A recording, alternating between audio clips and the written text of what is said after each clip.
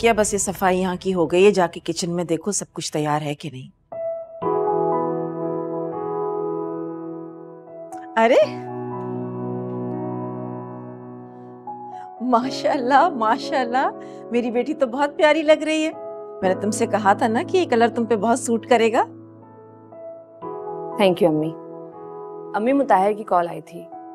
वो कह रहा था कि वो सब गाड़ी में बैठ चुके हैं और पहुँचने वाले होंगे। चलो ठीक है। अच्छा सवेरा मैं सोच रही थी कि अगली बार जब हम मुताहिर को बुलाएँगे ना तो मैं नसरीन से भी कह दूँगी वो भी आ जाए। बल्कि मंसूर भाई को भी बुला लेंगे ताकि वो मुताहिर से मिल लें है ना?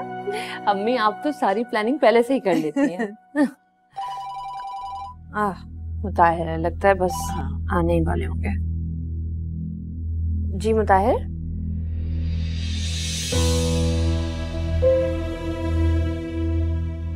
ओके। नहीं आप फ़िक्र नहीं करें मैं अम्मी को बताती हूँ। ठीक है। हाफिज़। क्या हुआ है बेटा? सब खैरियत तो है? मुताहिर की दादी की बहन का इंतकाल हो गया अम्मी। वो बस इधर आने ही वाले थे तो अब उनको फौदगी पर लेकर जा रहे हैं।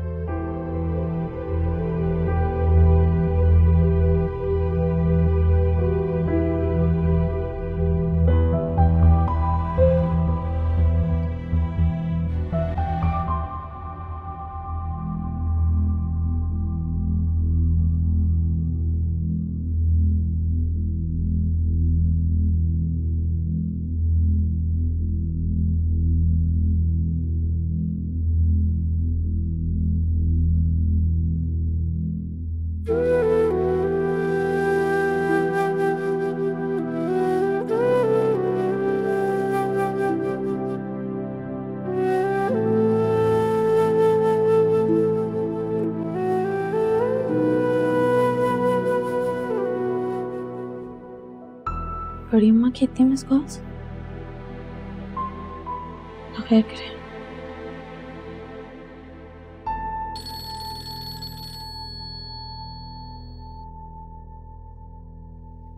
हेलो। अस्सलाम वालेकुम वालेकुम अस्सलाम बेटा। क्या बात है बड़ी अम्मा आप फ़ोन कर रही थी? मैं तुम्हें कब से फ़ोन कर रही हूँ लेकिन तुम फ़ोन उठा ही नहीं रही थी। सब ठीक है ना? सब खैरियत है? अजलान तो ठीक है ना? हाँ बेटा सब खैरियत है अजलान भी ठीक है।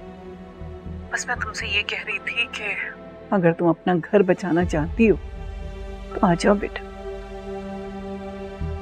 क्या बात है बड़ी अम्मा कुछ हुआ है क्या? आप ऐसे क्यों कह रही हैं? ठीक कह रही हो बेटा। तुम इस आसरे में मत रहना कि मुताहिर तुम्हें लेने आएगा। उन्होंने मुझसे वादा किया है कि वो मुताहिर को समझाएँगी। वो मुझे लेने के लिए आएँगे। बेटा अपने मफाद के लिए जो वादे किए जाए ना तो वो कच्चे धागों की तरह होते हैं। उन पर कभी एतबार नहीं करना चाहिए। मियाँ बीवी के दरमियान होने वाले झगड़े जो है ना, कभी रिश्तों को कमज़ोर नहीं करते। लेकिन जब दूरियाँ आ जाए ना तो रिश्ते कमज़ोर पड़ जाते हैं। अगर तुम अपने रिश्तों को बचाना चाहती हो ना तो अभी आ जाओ। मेरे ख्याल से तो समझदार को इशारा काफ़ी और तुम तो बहुत समझदार लड़की हो ना। समझने की कोशिश करो बेटा अल्लाह हाफिज